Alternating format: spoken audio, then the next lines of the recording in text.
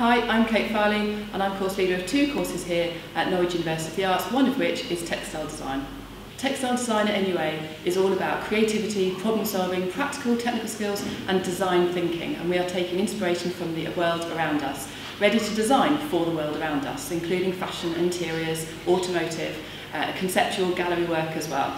So the design process for us is incredibly important and we think about client briefs, we think about um, how we uh, generate new ideas and look for different solutions.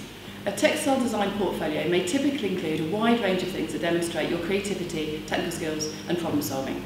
We would like to see a wide range of drawing approaches, some very observational, some more, much more experimental. It could be still lives or life drawing, but also drawing with stitch, collage, black and white work, lots of coloured work, mixed media work too, printmaking, uh, painting, whatever you've experienced. You might also have carried out fashion illustrations or computer-aided design work. So all of these skills demonstrate how you approach practical skills in relation to design thinking. Putting a portfolio together should be a really rewarding experience. You're going to be showing you and us the best bits of your experiences so far, but also make sure that you're showing us what you've learned.